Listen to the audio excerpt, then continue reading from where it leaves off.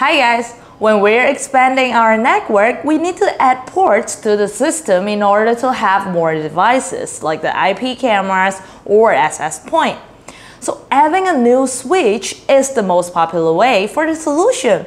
However, adding a switch is not as simple as you think. It actually requires crucial consideration.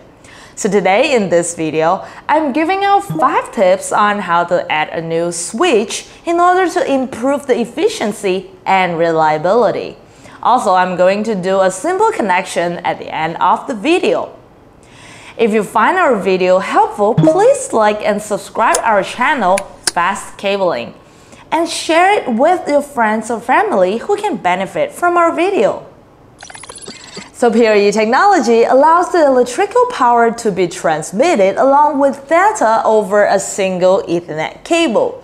So why do we need PoE switch? Now PoE switch is a device that allows the administrator to transmit both power and data to the edge devices through the Ethernet cable. Now using a PoE switch can simplify the installation by eliminating the need for separate power set. Also, it can centralize the power management, increasing the flexibility and improve reliability of the power devices on your network. Now, without saying, I'm going to give you the 5 tips on how to choose a PoE switch.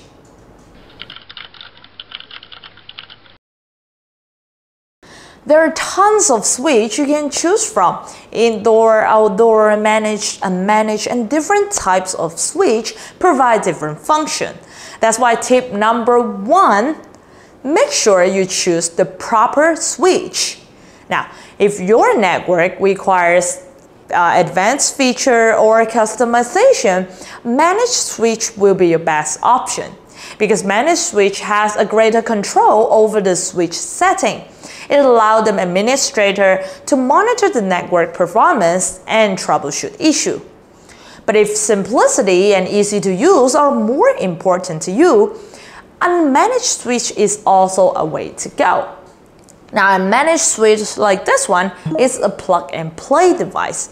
It offers fewer customization options and also it is not allowed for monitoring, but it's easy to use.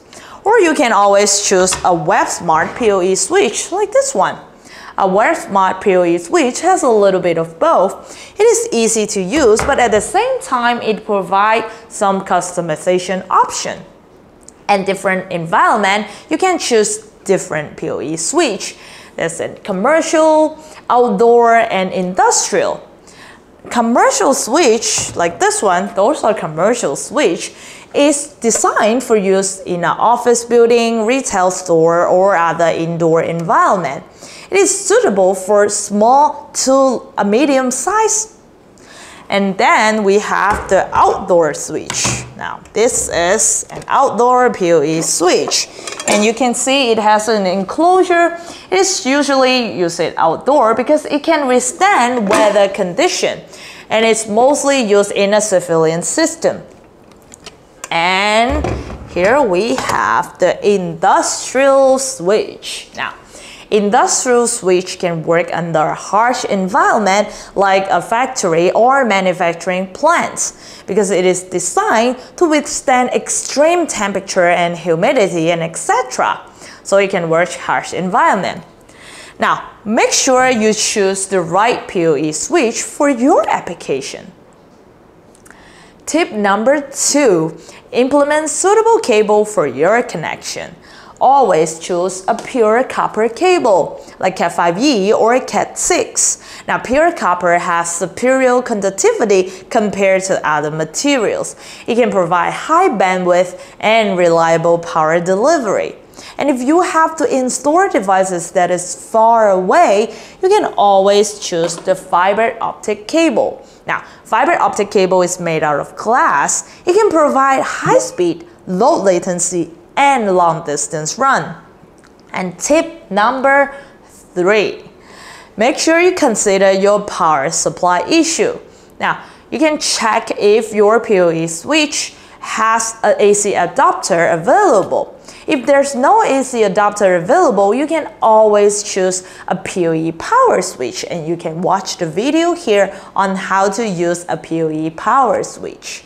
And some switch can support redundant power to get high reliability.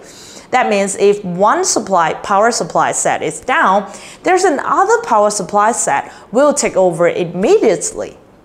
And also, you have to determine your power consumption of the edge devices. For example, is it using a 30 watts AT standard or a 60 watts BT standard? And also the power budget. The total power budget is very important. For example, if you have an 8 port PoE switch that has a total power budget of 120 watts, and now you're connecting eight IP cameras that require 20 watts. So obviously, it doesn't have enough power budget because 8 cameras with 20 watts, that means 160 watts in total, but your PoE switch only have 120 watt power budget in total. So that's not enough. In this case, you will need a higher power budget PoE switch. So tip number 4, avoid daisy chain. Daisy chain is a network topology where multiple switches connected in a lightning fashion. Now, with each switch connected to the next switch in the chain. Now, why do we want to avoid that? Because daisy chain will lead to network latency. And here is a video on how to avoid daisy chain in a network system. You can watch it here. And tip number five, surge protection. Even though your device getting hit by lightning is rare, but still there's a chance your system may be damaged by the surge. Because when lightning hitting the ground, actually it will spread to the whole area. Since Ethernet cable is made out of copper, and copper absorbs surge, so it will travel to both end of the devices and eventually damage the system. So if your environment has lightning often or you're using an outdoor surveillance system, always make sure you add a surge protector. And now we're done with the five tips. Let's move on and do our connection together.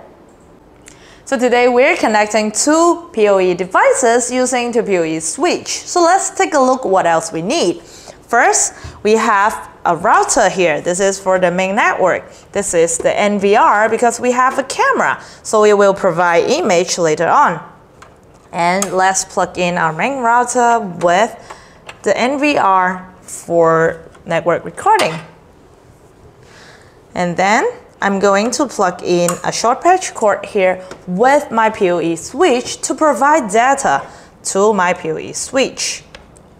And also it has a power supply AC adapter here. Make sure you plug it in for power.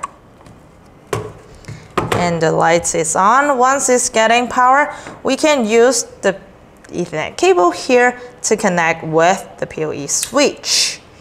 Now the, PO, the Ethernet cable is getting both data and power and send it over to our camera on this side we just have to simply plug in and wait for it works. I can hear the sound clicking. It should take a few minutes because this is a zoom camera, okay?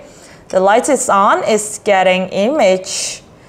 And if you want to add another device, you can simply just using another ethernet cable here. Let me show you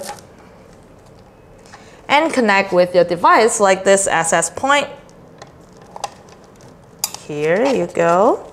And we can pull it back to our PoE switch. Just simply installing it here. And now we can see our camera is getting on and it's alive. Let me show you. And you can see here, our access point is also getting power. The lights are on and there's no power source available anywhere over this side. All we need is a single ethernet cable and they can be managed by our PoE switch. So the whole setup is pretty easy, right? And thank you so much for watching today. And I'll see you next time.